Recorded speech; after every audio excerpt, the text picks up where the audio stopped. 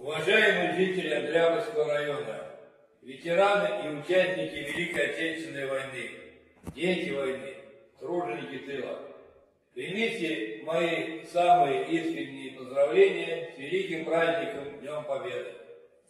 Этот праздник стал символом героизма нашего народа, его несгибаемой стойкости, несокрушимости духа.